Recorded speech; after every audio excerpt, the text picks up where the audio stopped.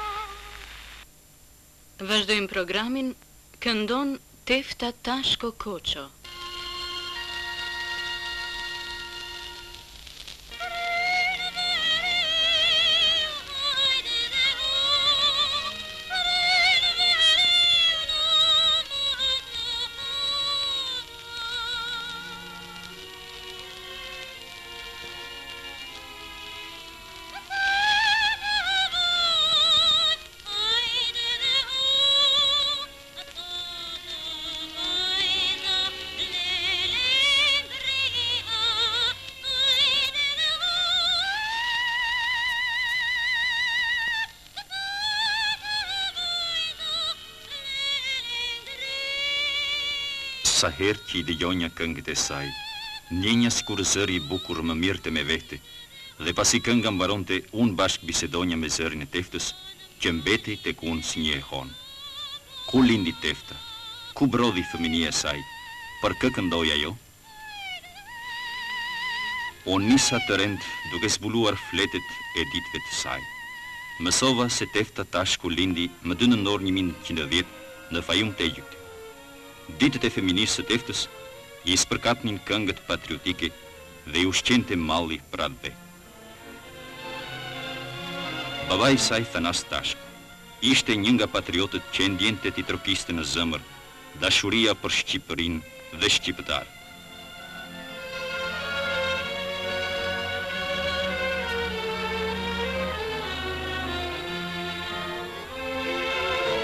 Për veprimtari të gjerë patriotike, mblidheshin shpesh në shtëpinë e tij Fan Noli, Çajupi, Filip Shiroka, Spiro Dinja, e të tjerë. Patrioti i flaktë Thanas Tashko nuk pushoi së punuari dhe së ndihmuari që një ditë ta shihte atdheun e tij të gëzonte lirinë. Shpesh, atij i shkruanin letra, ku i shpreheshin me fjalët më të ngrohta, më të sinqerta.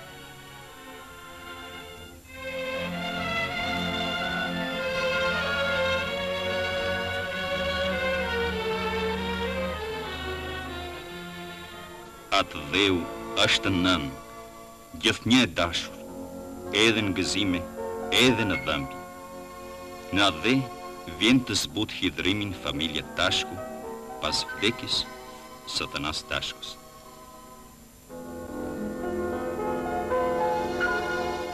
Mësova se një shoqe fëminie e Teftës ka qenë Jorgjia Truja. Ajo patjetër do ta dijë si të trokasë në ditët e fëminisë së tyre.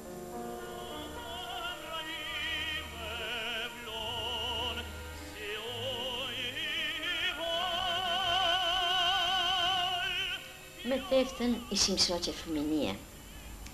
Por këtë shoqëri e përforcoi akoma më shumë kënga.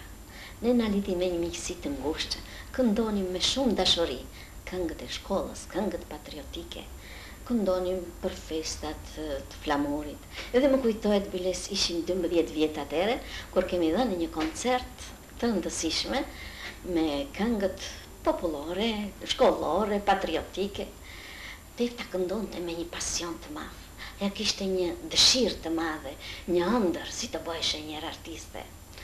Këtë këto koncerte të vogla, këto organizime kënge që ne i bënim shpesh, vazhduan gjatë gjer në vitin një mijë e nëqind e njëzet e shtatë, kur të dyja me shumë përpjekje, me shumë luftë pranë prindërve edhe për të tjerët që të mund të na ndihmonin, na ipnin një bursë për të dalë jashtë shtetit. Një vajzë nga Shqipëria ndjek studimet në Francë në shkollën muzikale të Montpellier-së. Atdheu kish nevojë për artistë, Tefta kish etje për art. Pasionin që kishte Tefta për artin e ruajnë këto dëshmi të heshtura. ku janë regjistruar rezultatet e shkëlqyera.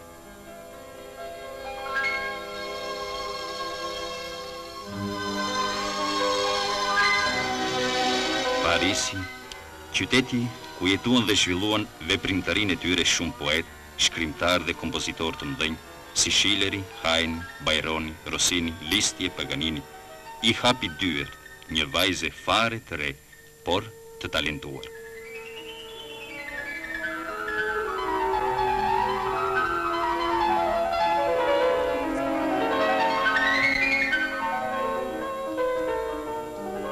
Nis për Teftën një jetë e re artistike. Ajo hyn me entuziazëm në artin e muzikës së Parisit. Gjatë viteve të studimit në Institutin e Lartë Muzikal, ajo studioi nën drejtimin e profesorit Jean Serrail.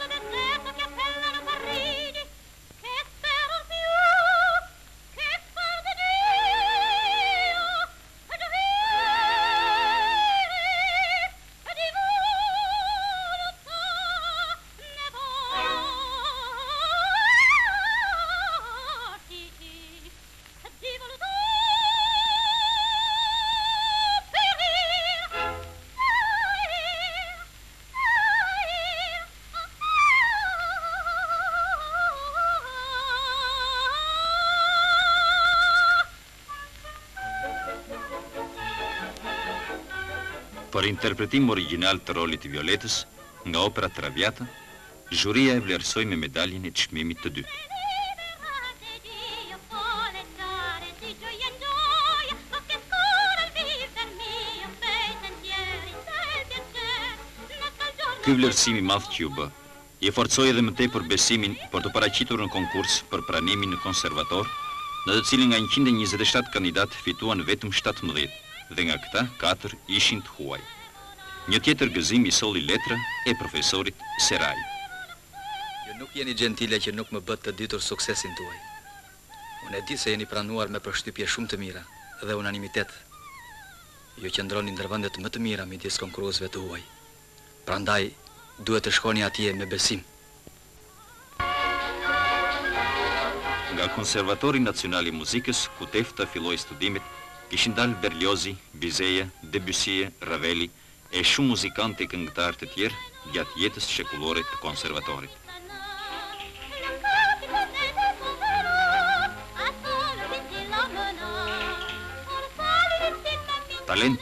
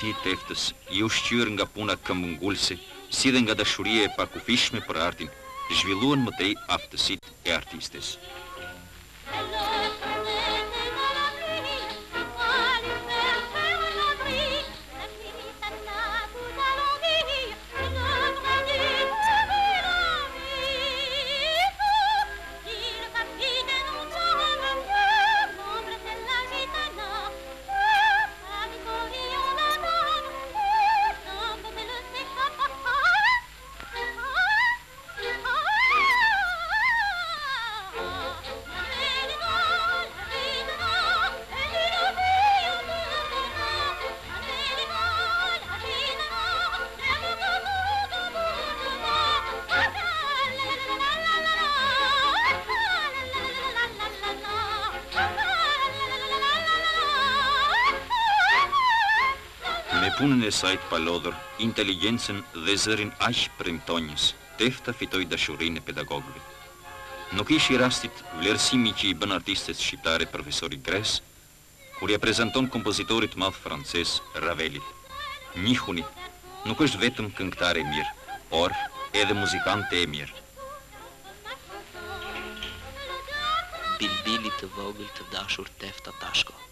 që ka treguar gjithmonë një zell të palodhur dhe talentin e vërtetë të së cilës do të donja ta shpërblenja në mbarim të këtij viti shkollor.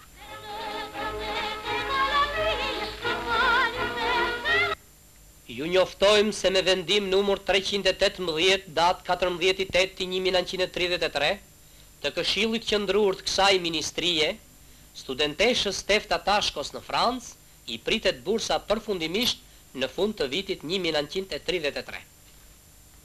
Ndërsa qeveria shqiptare i priste bursën Tefta Tashkos, pedagogë francezë protestojnë dhe kërkojnë pranë qeverisë që të mos i pritet rruga e së ardhmes kësaj vajze ku spikat një talent i sigurt. Unë mund t'ju provoj zoti ministër se zonjusha Tefta Tashko është një artiste e shkëlqyer dhe shumë serioze. Do të ishte shumë për të ardhur keq që, për shkak të një inkurajimi financiar, ajo të detyrohet që të mos u japë fund studimeve të saj në Konservatorin Nacional të Muzikës. Unë bashkoj personin tim modest me gjithë ata që interesohen për fatin e saj. Pas ndërhyrjeve të shumta që u bënë pranë qeverisë, Teftës iu dha një ndihmë e vogël në krahasim me bursën që kishte.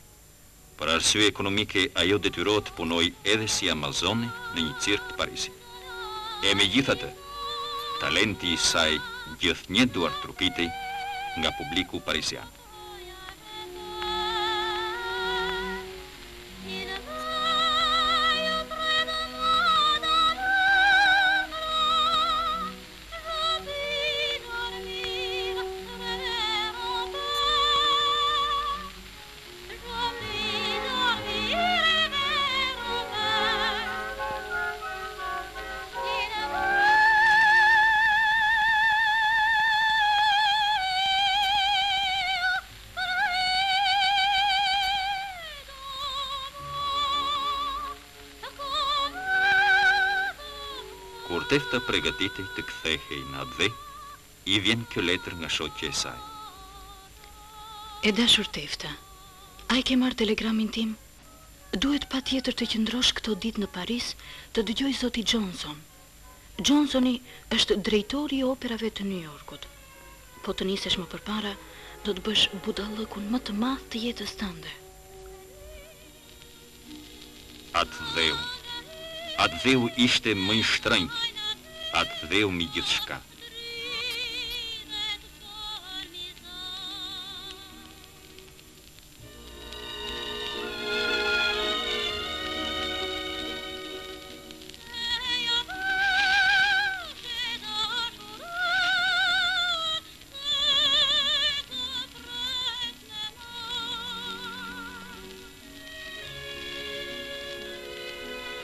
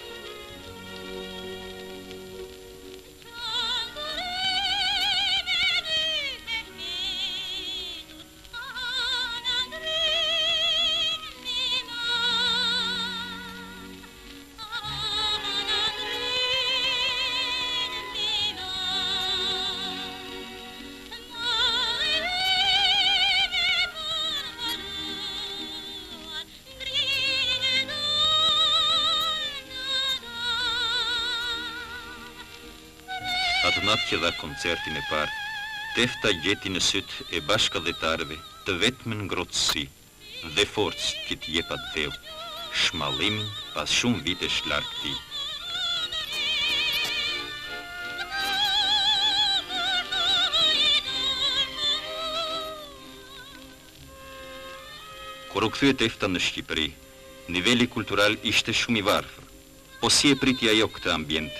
Heshti, punoi, krijoi? Ju Marie keni qenë shoqe në atë kohë. Kur shikoj rininë e sotshme, së cilës i janë kriju të gjitha konditat ku të zhvillojë aktivitetin e saj artistik, më fluturon mendja te rinia ime, që porsa u ktheva në Atdhe nuk gjeta asnjë terren për të zhvillu pikërisht këtë art të bukur. Pse? Asnjë ndihmë, asnjë kuptim nuk kishim nga qeveritë e asaj kohe. Në këto kondita të vështira, erdhi dhe shoqja Tefta Tashko, nga Parisi, ku kreu studimet e saja, me entuziazëm të madh, se kujtonte se do gjente sallat e koncertit, pianofortat, teatrin ku të zhvillonte artin e saj të mrekullueshëm, po mjerisht e priste e njëjta, një i njëjti fat siç na priti ne. Por, Ne, ajo pakicë e vogël që ishim, domethënë ata zogjtë të të tremur si të thush në këtë vend, u mundum t'i krijojmë konditet, domethënë t'i ndihmojmë që ajo të napë koncertet e saja të para në Korçë, në Tiranë, në Shkodër e kështu. Zani i saj i mrekullueshëm, bukuria e saj,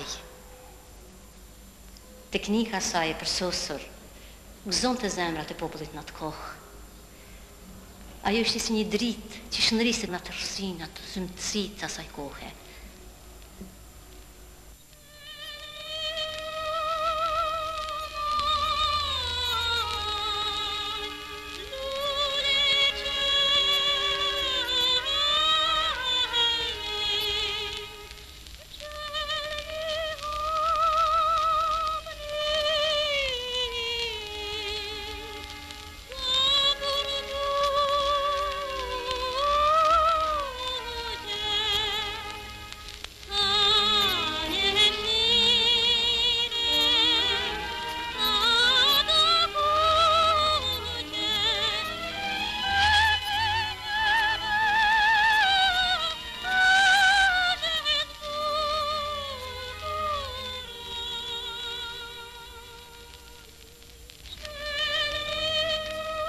Për Teftën më foli me kënaqësi të veçantë miku dhe kolegu i saj, Baki Kongoli. Megjithëqë kanë kaluar pothuajse tridhjetë e shtatë vjet qysh atëhere, më mbetet i paharruar në kujtesën time takimi i saj, takimi i parë timi me te, pikërisht në shpinë e saj atëhere kur unë i dërgova disa këngë popullore të transkriptuara nga unë. Ia demonstrova këto edhe me këngë dhe me violinë. Asaj i bëri përshtypje jashtëzakonisht të madhe përmbajtja emocionale e këngës popullore. U mahnit nga bukuria magjepse e këtyre melodive të krijuara nga gjenialiteti i popullit. E u shpreh pikërisht kështu, Ç'forcë të madhe lirike që kanë këto këngë! Ç'përmbajtje liriko-dramatike që ka! Këto krahasohen tamam me romancat e ariet e vërteta. Edhe me të vërtetë, qysh në atë kohë, ajo u lidh shpirtërisht me këngën popullore. futi të gjithë teknikën e belkantos, energjitë e saj për t'i hy sa më thellë mendimit popullor. Edhe kishte këtë mendim që popullit t'ia marrim këngën, por ta interpretojmë e ta përpunojmë atë në mënyrë që të përgjithësojë mendimin e përgjithshëm muzikor të popullit e ta vëmë atë tamam në rangun e pjesëve më të mira më dinjitoze. Edhe ajo i dha me të vërtetë si të them një interpretim shumë dinjitoz këngës popullore, pse e dashuroi atë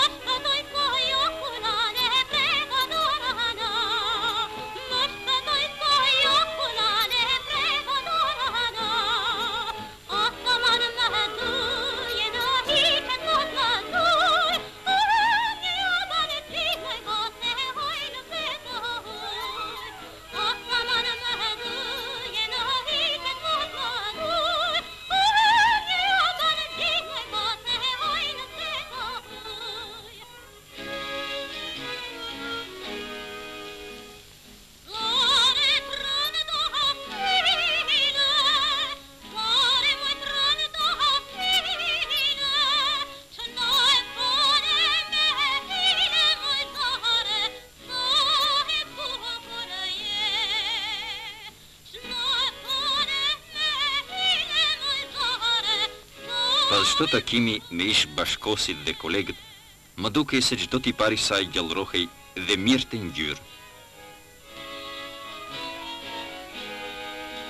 Shoqe emocionesh me Teftën ka qenë pianistja Lola Gjoka. Më kujtohet si tashi kur u njofta me Teftën. Ishte shumë e ambël e shumë e dashur. Edhe me buzëqeshje më tha, E di sa e lumtur jam o Lola, tha, se gjeta një pianiste shqiptare këtu. Se unë le që s'kisha shpresë të gjenja ndonjë orkestër të më shoqëronte, po thashë a do gjej valle ndonjë pianiste? U gëzova tepër sa që u njoftëm. Ne sa filluam nga aktiviteti, filluan vështirësitë tona. Jo po s'gjenim sallë të përshtatshme, ne nëpër ato skenat e të kinemave bëheshin, s'gjenim as piano të prishura të vjetra, Propozoi Tefta të shkonim nëpër qytete të vogla, nëpër katundet, t'i këndonim popullit e t'i shpinim këngën tonë. Në këtë drejtim ka qenë shumë këmbëngulëse, e palodhur, bile atë vullnet që kishte ajo, të them të vërtetën ne nga, nga ne artistët asnjë s'e kishte atë që kishte ajo. Edhe më kujtohet si tashi Shkuam në në Fier, më duket. Morëm një mezi gjetëm një piano të vjetër, e ngarkuam në në makinë, e në mes të rrugës në baltë na ngeli atje. Të nesërmen mezi kemi gjetur një qere që e morëm edhe shpumë pianon te ku duheshin. S'kishim asnjë piano në dispozicion për punë tonë. Sa shpeshherë u detyroheshim të vinim në afishe dhe në programe emrin e pronarëve të pianove, imagjinoni.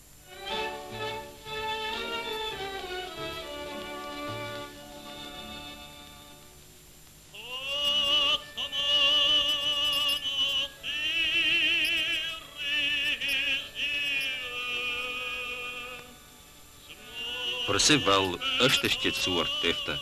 Kush ka trokitur në ëndrrat e saj? Cili është ai që do t'i meritojë këto lule?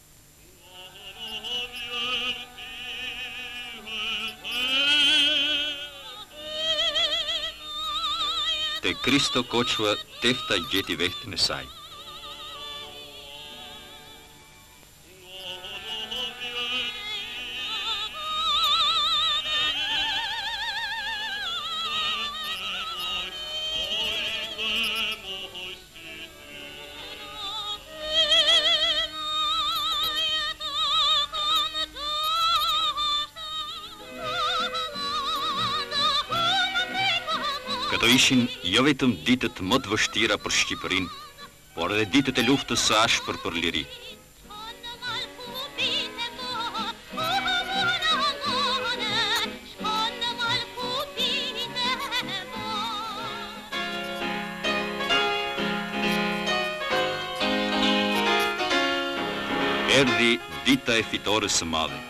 Tefta si gjithë atdhetarët e priti me gaz në sy ditën e çlirimit.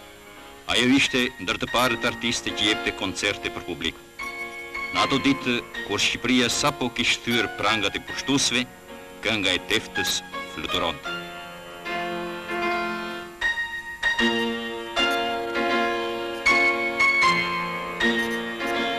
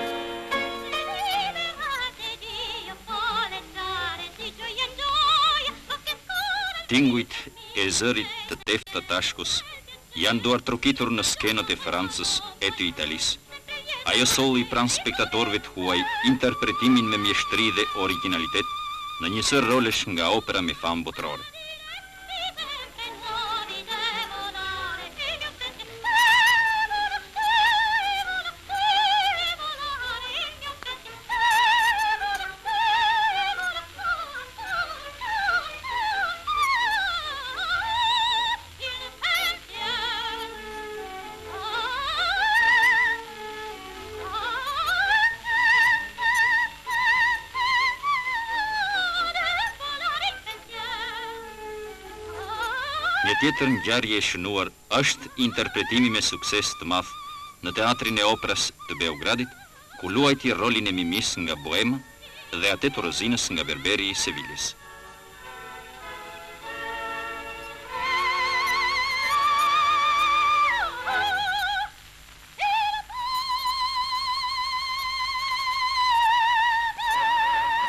Kur ajo akoma s'kish arritur kulmin e aftësive të saj si këngëtare,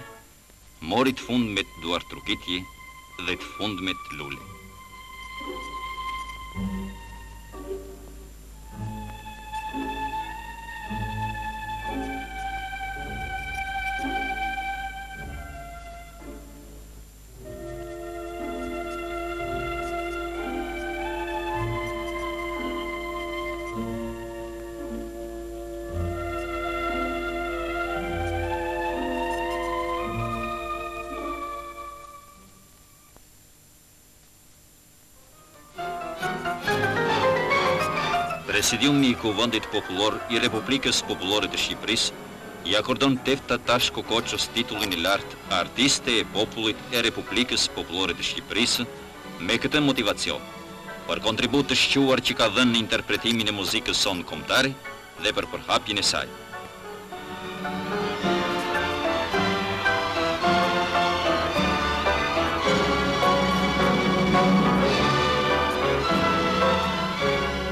Nxënësit e kësaj shkolle muzikore sa herë që dëgjojnë tingujt e zilës së mësimit, ndjejnë sikur i thret vetë Tefta.